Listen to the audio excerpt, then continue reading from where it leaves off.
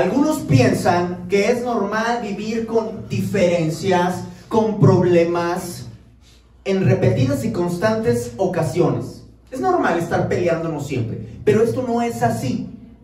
Y mire, hay gente que se ha acostumbrado a vivir en pleitos que en cualquier situación de la vida busca tres cosas rápidamente. Tres cositas. Primero, busca qué es lo negativo de esta situación. Segundo, quién tuvo la culpa. Y andan en su mente, el culpable fue esto. Y tú fuiste culpable. Y tú tienes la culpa. ¿Y han escuchado gente así hablando de que tú tuviste la culpa? Y tú tienes la culpa. Busca la culpa. Y número tres, ¿de qué forma esa situación me afecta? Y esa gente es una gente problemática. De modo que todo les parece mal. Quiero compartirte en esta mañana por qué hay problemas entre cristianos. ¿Por qué hay problemas entre cristianos? Romanos 15.5, por favor, hermanos, vamos allá. Romanos 15.5.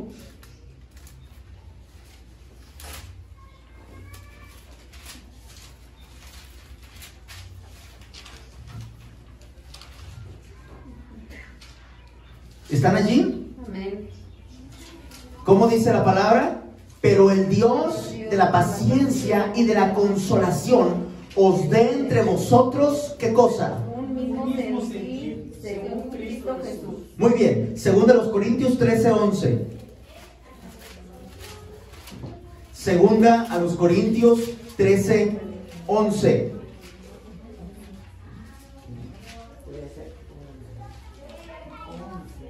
¿Están allí? ¿Qué dice, por favor? Por lo demás, hermanos, tened gozo, perfeccionaos, consolaos, sed de un mismo sentir y vivid en paz. Y el Dios de paz y de amor estará con vosotros. Filipenses 4.2. Gálatas, Efesios, Filipenses. Filipenses 4.2. ¿Están allí? Ustedes me indican. ¿Ya llegaron, hermanos? Filipenses 4.2. Amén. Lean por favor conmigo. Ruego a Evodia y a Sintique que sean de un mismo sentir en el Señor. Y andaban peleados, ¿verdad? Qué raro. y está hasta registrado en la Biblia. Primera de Pedro 3.8.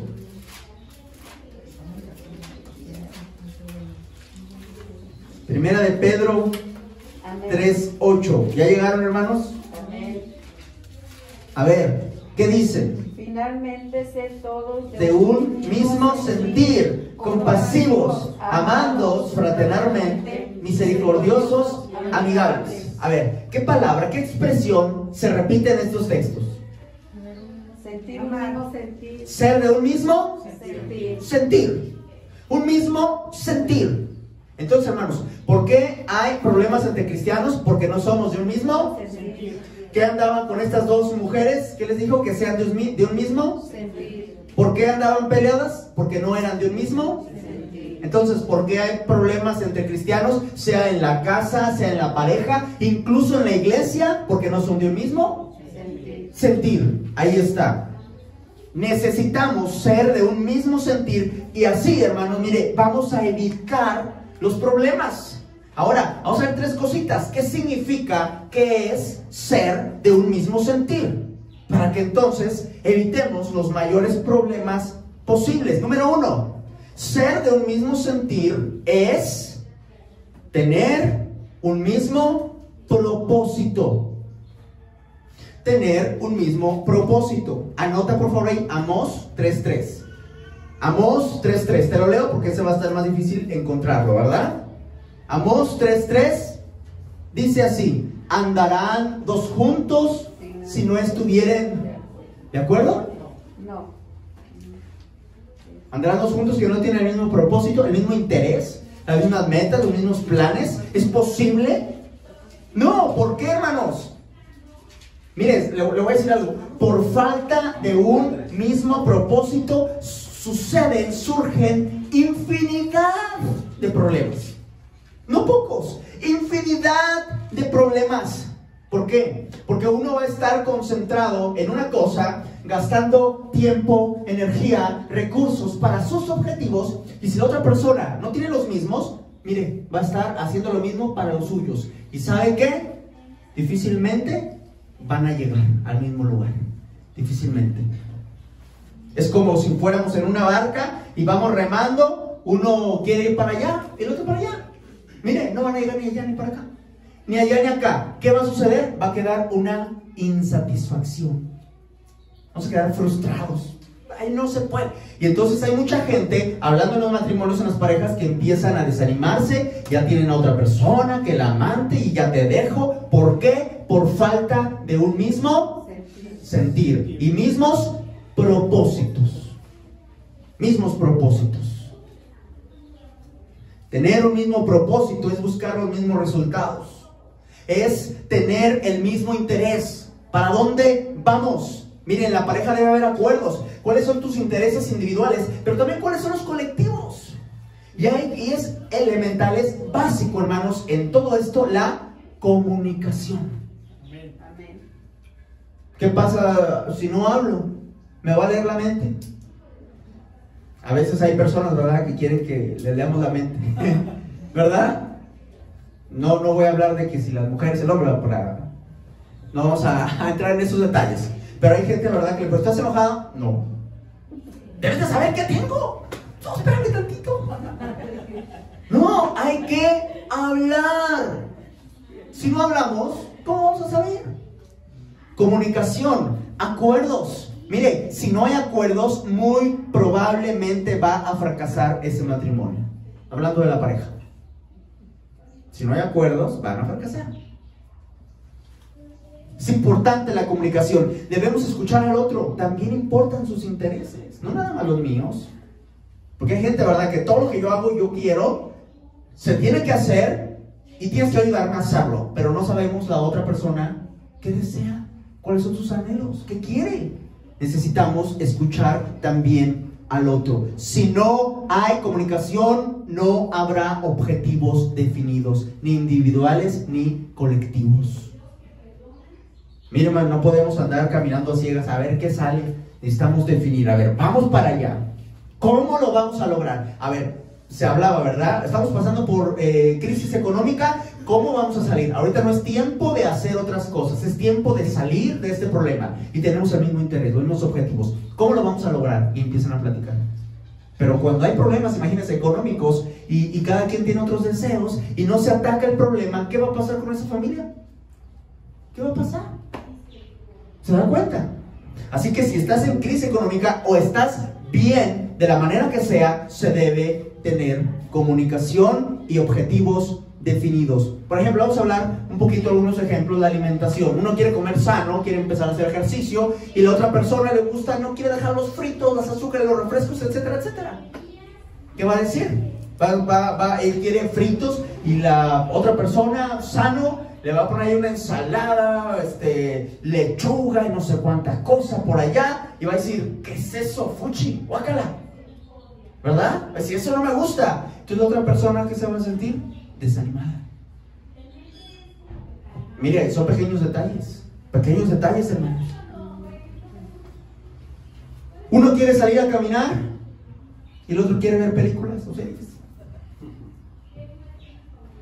¿Qué hacemos?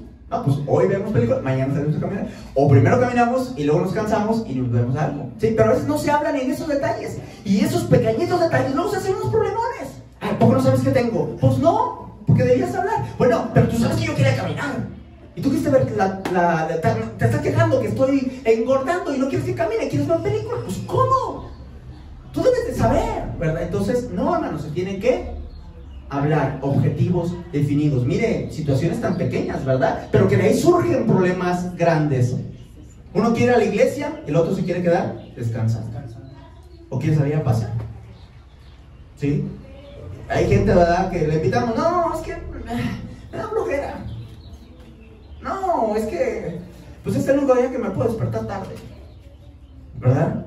Y sucede muchas situaciones, pero cuando uno quiere una cosa y el otro quiere otra cosa, hermanos, hasta estos pequeños detalles que parece que no son relevantes, son muy importantes para marcar el rumbo de una relación, para bien o para mal, mismos propósitos, mismo sentir. ¿Vamos bien hasta aquí? En la iglesia, ¿cuál es el propósito en la iglesia? Ya vamos a ver. Primero, evangelizar. Mateo 28, 18 al 20. Evangelizar es ser discípulos. ¿Estamos bien? Primer objetivo. Segundo, nosotros mismos, dice, ir y hacer discípulos. Pero nosotros primero necesitamos ser discípulos. Aprender, así que también aprender la sana doctrina. ¿Sí? Por no aprender una sana doctrina, suceden luego situaciones complicadas. ¿Sí? Aprender sana doctrina. Tercer propósito, ser útiles para Dios viviendo en santidad. Segunda Timoteo 2:21. Y cuarto propósito, usar los dones para la edificación de la iglesia. Primero los Corintios 14, 12. Ahí están los propósitos. Ya lo sabemos. ¿Usted viene a la iglesia con qué propósito vengo? Con esto para realizar esto, para hacer esto. Hay gente, hermanos, que dice, invité a tal persona, invité, ahí está usted compartiendo acerca de Jesucristo. Y si usted no lo sabe explicar, hasta los trae a la iglesia para que ellos escuchen aquí el Evangelio. Ahí está usted trayendo de todas maneras la gente al Evangelio. Los miércoles que estamos siendo discipulados, aprendiendo este propósito. La sana doctrina. Y esto, ¿verdad? tiene que llevarnos a vivir de acuerdo a la palabra de Dios en santidad. Ahí están los propósitos y, ser usados nuestros dones para la iglesia. Ahí estamos bien. Ahora, ¿qué sucede cuando no se busca realizar estos propósitos? ¿Qué sucede, hermanos? Primero, no se busca ser discípulos, así que me dedico a otras cosas. Ya no me dedico a hablarle a la gente, invitarlos a Cristo, ocupo ese tiempo para otras cosas. Ya me desatendí de eso. Esta persona no es de un mismo sentir, no tiene el mismo propósito en la iglesia. O sea que el que llega aquí y no tiene la idea de hacer más discípulos, ya no tiene el mismo sentir. Ahora, estamos aquí para aprender. Y si venimos aquí sin esa idea, entonces el Señor dijo, ir y hacer discípulos a todas las naciones, entonces nos toca a todos invitar a una persona. Y, la mayoría, y no sé si todos, han invitado a alguien. Pero hay que seguirlo haciendo. ¿Verdad? Hay que seguirlo haciendo. O compartirle, ¿verdad? Siguiente, cuando no se tiene el mismo sentir, no se llevan los mismos propósitos, se deja de preocupar por crecer en la sana doctrina. Dejas de crecer. Dejas de aprender. Dejas de crecer, de crecer hasta te aburre leer la Biblia. Ya te aburre leer la Biblia, ya la dejaste de lado. Ya se estancó tu crecimiento. Lo que antes tenías una sed, un anhelo, se detuvo. Eso sucede cuando no estamos cumpliendo el propósito de Dios. Tercer resultado, no se busca vivir en santidad. De modo que la persona vive seducida, atraída por el mundo y se justifica delante de los demás y trata de calmar su conciencia. Porque por momentos llega y dice, eso está mal lo que estás haciendo. Sí, pero... Eh, y, trata de alzar la voz o algo para que se calle su conciencia. ¿Verdad? Y entonces ya no vive en santidad, sino en los placeres de su carne, en todo lo que el mundo le ha llamado, le ha gustado. Y otro propósito, despropósito, ¿qué sería? Dejan de ser útiles. Estamos, somos salvos para servirle a Dios, para ser útiles. Y cuando no se tiene el propósito, dejamos de ser útiles, nos convertimos en inútiles. Está fuerte esa palabra, ¿verdad? Dejamos de tener un propósito en la iglesia y mire, se vuelven congregantes por costumbre o simple y sencillamente dejan de existir. ¿Se da cuenta? Para tener el mismo propósito debemos tener el mismo conocimiento. ¿Sí? Si yo le digo a mi esposa, mira, eh, el queso es malo, malísimo. No come queso. Eso te puede generar hasta un infarto. Se empieza a cristalizar en las venas y en diferentes órganos. Deja de comer queso. Pero si yo no le digo la razón, pues ella va a seguir haciendo quesadillas. Va a seguir. ¿Sí me explico, hermanos? Porque si no tenemos el mismo conocimiento, ella va a actuar. Y si yo le digo y le muestro, le muestro información y estudios y con doctores, ella va a decir, si es cierto. Teniendo el mismo conocimiento, podemos tener el mismo propósito, dejar de consumir queso. Ahí se los dejo, ¿verdad? Al costo de ustedes. Ustedes investiguen. Ustedes investiguen. ¿Verdad? Porque no es aquí clase de nutrición. Ustedes se los dejo ahí nada más. Ustedes chequen. ¿Pueden hacer caso o no? Bueno, para tener el mismo propósito debemos tener el mismo conocimiento. conocimiento. ¿Sí? ¿Sí? O sea, tener eh, el mismo conocimiento nos va a llevar al mismo propósito, que eso es para lograr un mismo sentir.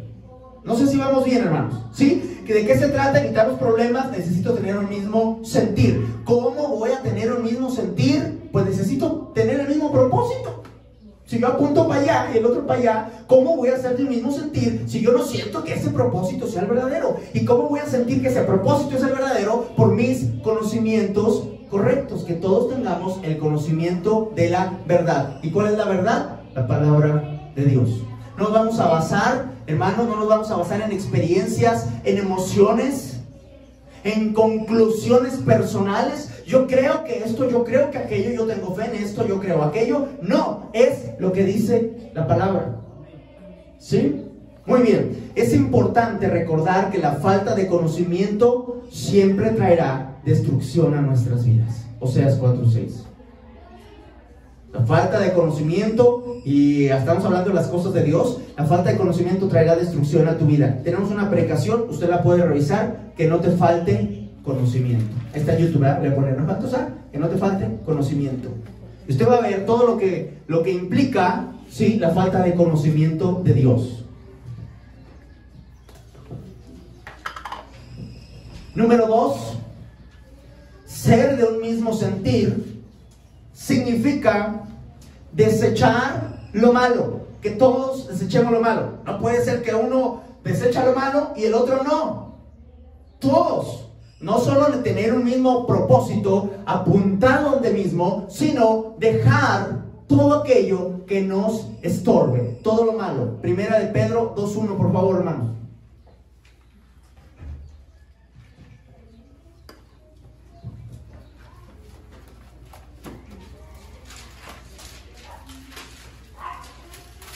Primera de Pedro 2.1.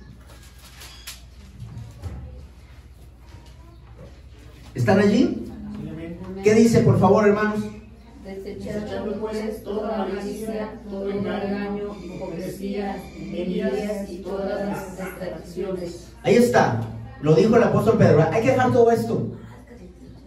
Si no dejamos esto, hermanos, ¿será capaz que seamos de un mismo sentir? Si hay envidias, si hay hipocresía, ¿verdad que no? Dice la palabra, dejen toda malicia, todo engaño. Hermanos, ¿para qué se engañan? Para buscar beneficiarme. ¿Sí o no? Engaño porque yo quiero ser beneficiado. El cristiano debe, hermanos, buscar la verdad, la justicia, aunque salga perjudicado. Aunque salga perjudicado. Así debe ser el cristiano. Debe proceder, proceder, perdón, no según su beneficio, sino según la verdad. Aunque me salga mal a mí. Sí, por ejemplo, a mí me multaron del coche dos veces por tener el teléfono en la mano. ¿Saben cuánto fue de esto?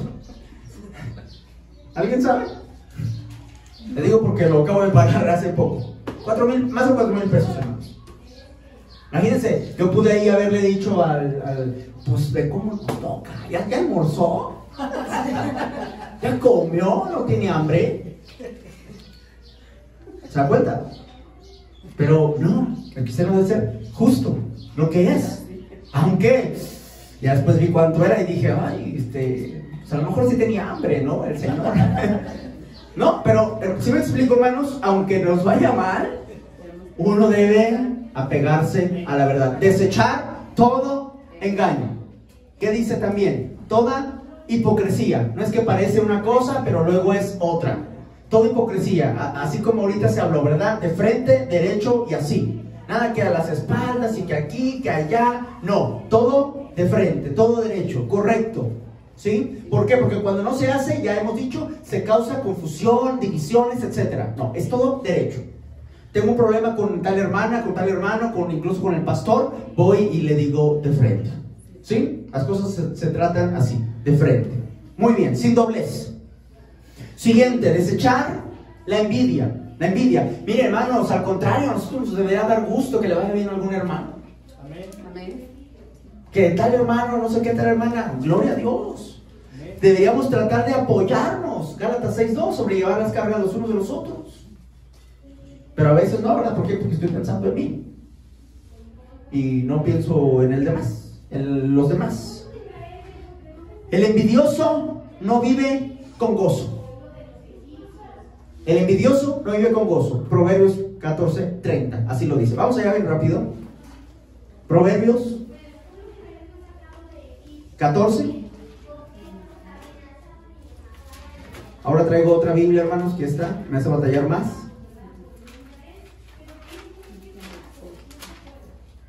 Proverbios, ¿qué le dije? 14, 30. El corazón apacible es vida de la carne. Mas la envidia es carcoma de los huesos. Fíjese. El envidioso no puede estar contento. Ahí se está pudriendo, ¿verdad? Desde, los huesos. ¿Eso es vida, hermano? No. Deseche toda envidia. Cuando alguien hace algo bien, mire Eclesiastés 4.4, mire, eh, incluso hasta entre pastores se envidian, ¿eh? entre predicadores y entre hermanos. En lugar de decir, ay, qué, qué, buen mensaje, qué gusto, que no sé qué, eh, la iglesia, lo que sea, ¿verdad, hermanos? Ay, el hermano, ¿cómo hizo y aquello? Y darle gusto. En lugar de eso, causa envidia. ¿Ya llegaron a Eclesiastes 4.4? He visto asimismo que todo trabajo y toda excelencia de obras despierta la envidia del hombre contra su prójimo. También esto es vanidad y aflicción de espíritu. Miren, cuando se hacen las cosas bien, con excelencia y sobre todo para Dios, de pronto hasta causa envidia, hermanos. Causa envidia. No debería ser así entre cristianos.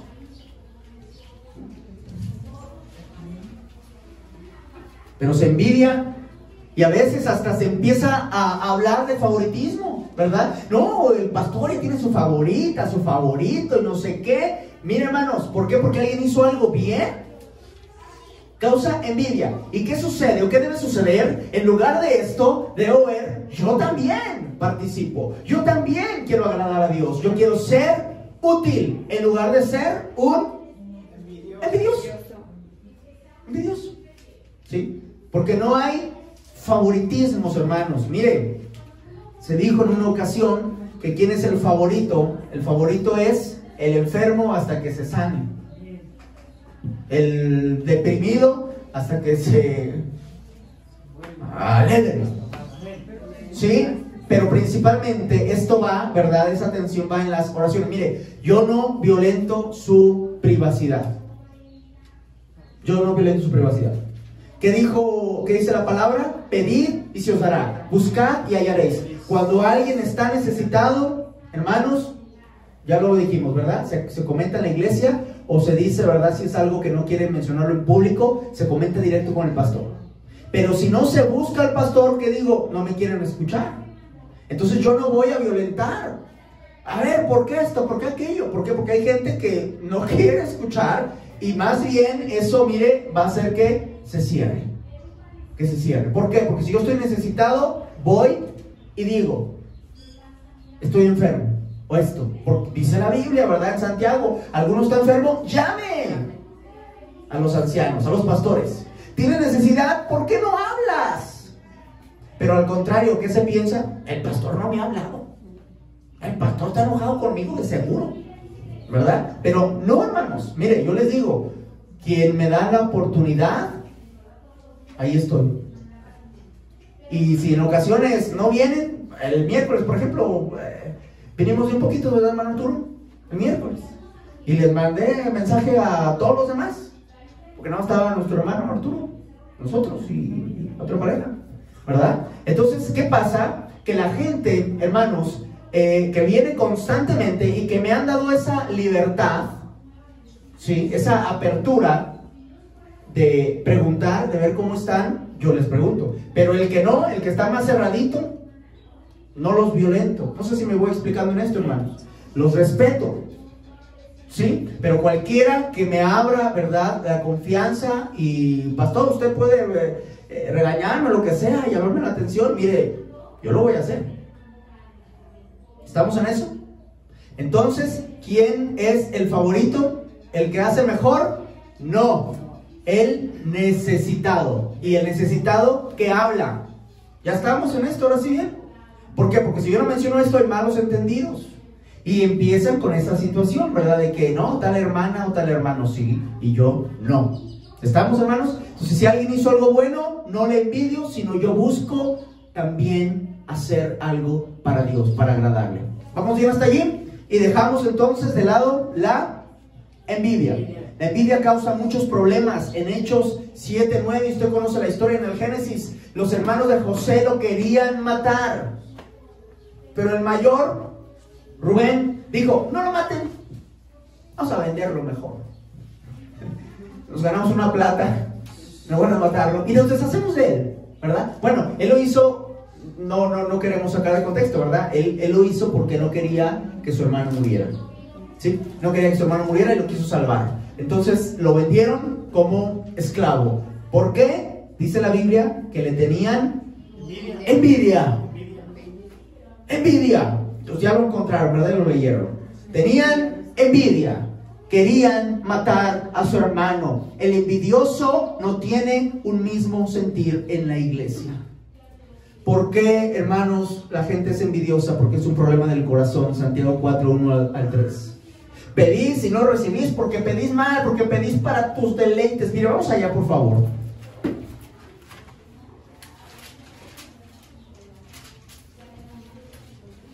Santiago 4, 1 al 3. ¿De dónde vienen las guerras y los pleitos? ¿No es de vuestras pasiones las cuales eh, combaten en vuestros miembros? Codiciáis y no tenéis. Matáis y ardéis de envidia. ¿Se dice así la Biblia? ¿Qué más dice? Y no podéis alcanzar. Combatís y lucháis, pero no tenéis lo que deseáis, porque no pedís. Ahí está otra vez. Pide. Pedís y no recibís. O sea, para los que están pidiendo, por si acaso, piden y no reciben. ¿Por qué? Porque pedís mal. Porque pedís mal para gastar en vuestros deleites. Y ya nos seguimos con el siguiente versículo, ¿verdad? Porque habla más fuerte. ¿Sí? Entonces se envidia porque el corazón está mal.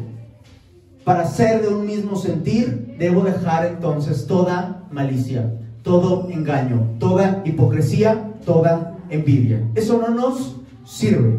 Si lo tenemos, no podemos ser del mismo sentir y vamos a ser más bien una piedrita de tropiezo. Número tres, ser de un mismo sentir significa ser imitador de Cristo.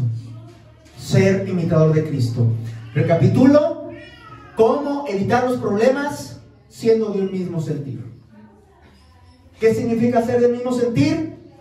Mismo propósito, dejar de nuestra mente, nuestro corazón, lo que no, todo lo malo. Y número tres, imitar a Cristo. Imitar a Cristo. Filipenses 2. Con esto terminamos, hermanos. Filipenses 2.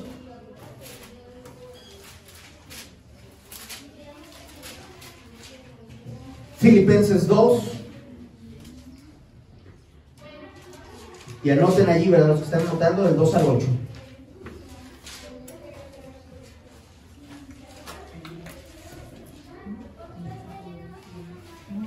Filipenses 2, del 2 al 8. ¿Están allí? Amén. Entonces, Ser de un mismo sentir significa ser un imitador de Cristo. Filipenses 2, verso 2. ¿Qué dice?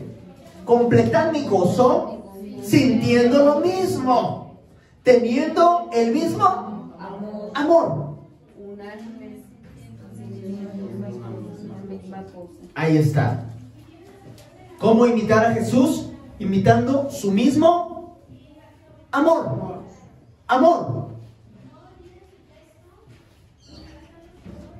Debemos seguir el ejemplo de amor de Jesús, así lograremos ser de un mismo sentir. Anote la cita, Juan 13:34. Un mandamiento nuevo os doy, que os améis los unos a los otros. Entonces quedará de lado aquello que no proviene del Padre, todo engaño, toda malicia. ¿Sí? Porque si yo amo a mi hermano, ¿cómo lo voy a envidiar si lo amo? Si yo amo a mi hermano, ¿cómo lo voy a engañar? ¿Cómo voy a ser un hipócrita? Ay, Dios te bendiga, sí, sí, sí, por aquí, por allá. Y luego, ¿cómo? Si lo amo. Mandamiento de Dios, que os améis los unos a los otros. El que dice que ama a Dios y no a su hermano, el tal en tinieblas se ha quedado. ¿Así dice la palabra, hermanos? ¿Se dan cuenta? Ama a tu hermano. Número 3, verso 3, perdón. ¿Qué dice? Nada hagáis por contienda o por, por vanagloria. Antes bien, ¿qué cosa? Con humildad, estimando cada uno a los demás como superiores a él mismo. Imitar su humildad. Humildad. Muchos pleitos se ocasionan por falta de humildad y no hay reconciliaciones por lo mismo. Ah, no, que venga y me pida perdón y lo voy a pensar. Lo voy a pensar. Sí, porque no. ¿Qué le pasa? No es así, hermanos. Con humildad. Cuando hay humildad, hermanos, no esperas a que el otro venga, tú vas. Aunque tú hayas sido el ofendido. Humildad. Verso 4. ¿Qué dice? No mirando por sino.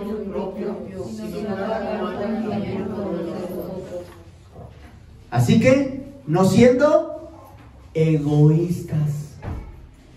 No siendo egoístas. Cuando veamos la necesidad de los hermanos y no solo la nuestra, seremos como Jesús, como Jesús miraba. Dice en Mateo 9:36 que Jesús miraba la necesidad. Veía la necesidad. Mire, vamos a leer ese texto. Mateo 9:36. Mateo 9:36, hermanos.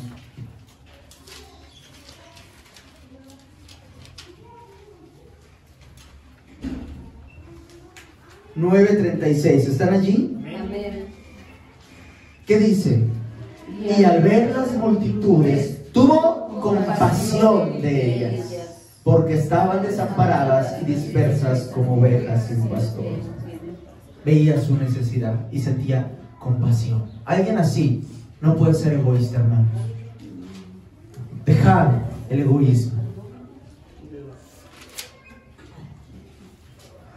Y último, imitar, verso 8, ¿qué cosa? A ver, lean por favor ustedes, ¿qué dice el verso 8? ¿Ya lo encontraron? Filipenses 2.8.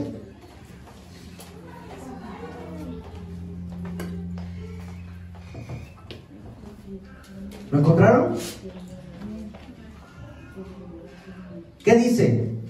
Y estando en la condición de hombre, se humilló a sí mismo, haciéndose ¿Qué debemos de imitar de Jesús? Su obediencia. ¿Sí? ¿Hasta cuándo obedeció? Hasta la muerte. ¿Hasta cuándo obedecemos nosotros? Hasta que no me cuesta trabajo obedecer. Mire, conocemos la Biblia, sabemos lo que tenemos que hacer y no lo hacemos porque me costó trabajo.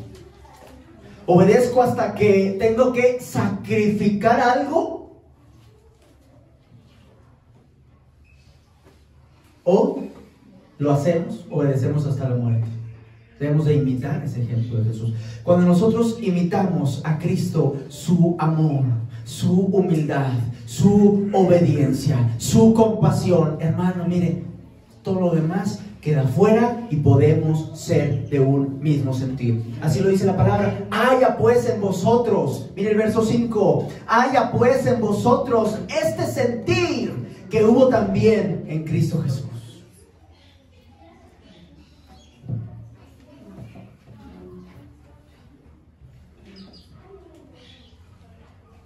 Quiero terminar. Vamos a concluir, hermanos. Si no tienes el mismo sentir, el mismo sentir de Cristo, el mismo propósito, si no desechas lo malo, estás condenado a vivir siempre como. A vivir como. Viendo lo negativo en cada situación. Una persona amargada. Estás condenado a estar viendo lo malo. Ay, no sé qué. Todo lo malo. Miren, no, no, no se me ocurren ahorita ideas porque yo trato de no pensar en lo malo. Sí, uno pone ejemplos ahí y ahorita ¿Qué ejemplo? ¿Ver algo negativo? Pues no, pero el que tiene mente negativa a lo mejor rápido le sale algo malo, ¿verdad? Va a decir, ah, pasó esto, esto, esto. Esto no debió haber procedido así. Esto no se debió haber hecho así. Aquello está mal. Y esto está mal. Y solo ven lo negativo. Negativo y negativo. Está condenado. Una persona que no tiene el mismo sentir de Cristo está condenado a ver siempre lo negativo. En lugar de ver el propósito en ello. En lugar de ver una oportunidad. ¿Ven? Lo negativo, hasta allí. Está condenado a ver lo grande de los problemas. No, es que este es un problema bien fuerte, que no sé qué, y aquello. Y vive un problemón, en lugar de ver lo grande de su Dios. No, Dios tiene chiquito, problemones grandes. El que no tiene el mismo sentir está condenado a que los problemas siempre le lleven a la frustración. Es una persona que está todo frustrado que no tiene paz y dice que ama a Dios. ¿Por qué? ¿Y vive en problemas? ¿Por qué? Porque no es de un mismo sentir. Así que siempre tendrán problemas en la casa y después hasta alcanzar a la iglesia. Hay gente problemática. Ahorita, gracias a Dios, no tenemos gente problemática. Digo yo, ¿verdad? Pero hay iglesias, hermanos, donde hay gente problemática que son problemáticos en su casa, ya no lo quieren en su casa, en ninguna parte, y se van hasta dar lata a la iglesia, hermanos. De todos lados están dando problemas, problemáticos. Así que, ¿por qué hay problemas entre cristianos?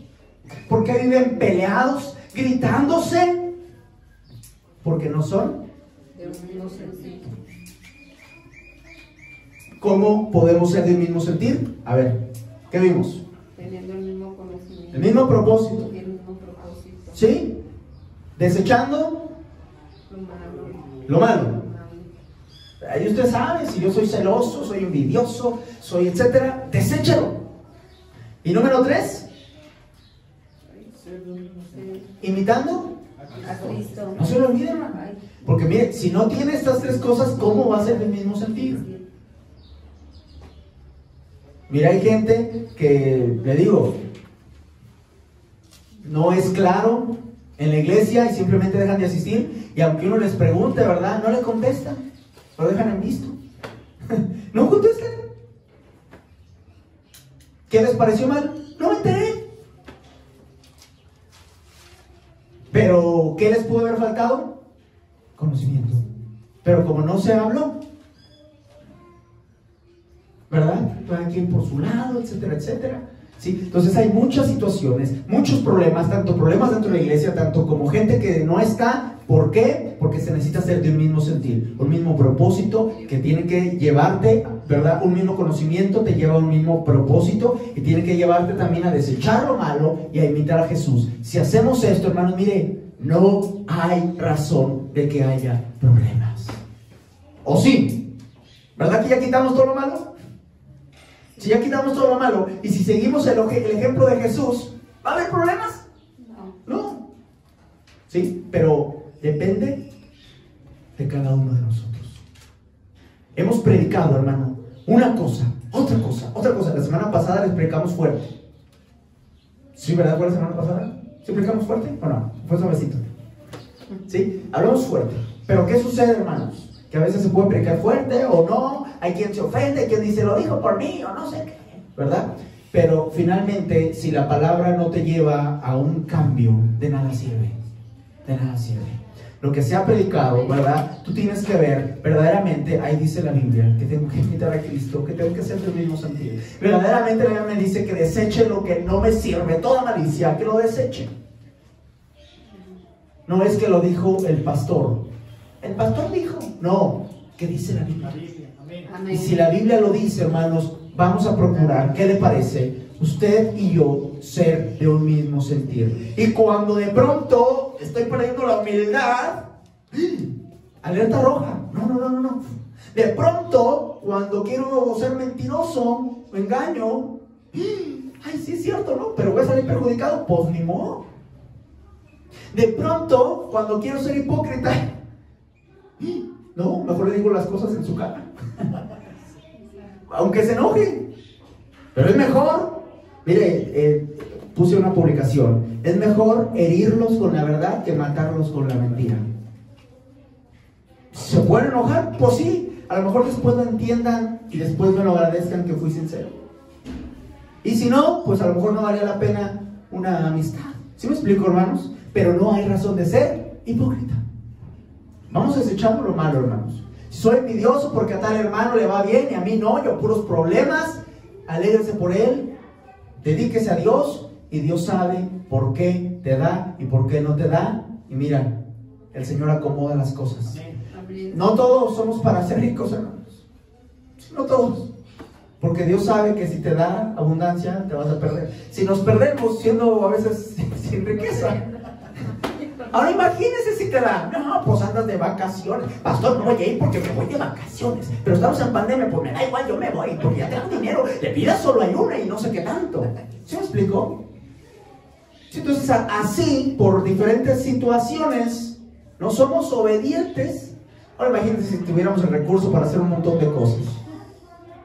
Y nos autoengañamos, ¿verdad? Porque decimos, no, yo leo la Biblia y gracias a Dios porque Él fue el que me hizo rico, ¿verdad? Y nos autoengañamos y no obedecemos. Entonces, no, no todos, ¿verdad? Vamos a ser ricos, ¿verdad? No todos. Eh, rápidamente, nada más les digo, ¿verdad? Yo, por ejemplo, no, yo no estoy en el ministerio por dinero. Si fuera así, me hubiera buscado una iglesia hecha y derecha, ¿verdad? Donde yo llegara y, ¿cuánto pagan aquí? Ah, bueno, sí me conviene. ¿Cuánto pagan acá? No, acá no.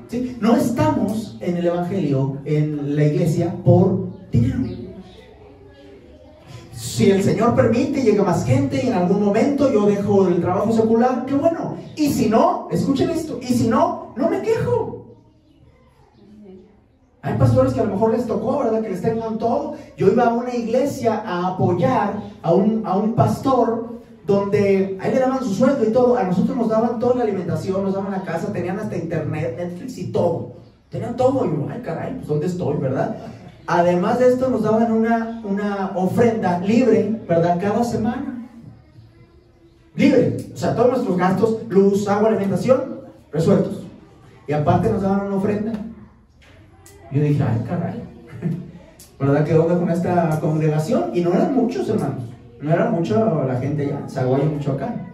¿Verdad? Entonces yo dije, ay, caray. Yo me sorprendí. Me sorprendí, hermanos. Pero miren, eh, la verdad yo veo que hay gente, hay pastores que les puede ir bien, pero yo no los envidio, ni anhelo, ni anhelo incluso. Ay, ¿por qué yo no tengo? No, no los envidio. Si les va bien a ellos económicamente, no tienen problemas, gloria a Dios. Si a mí me toca sufrir o batallar o lo que sea, gloria a Dios. Si a usted le toca batallar, sea de un mismo sentir. No hay por qué desanimarse, que es que yo no tengo y que yo aquello sea de un mismo sentido. El Señor le bendiga.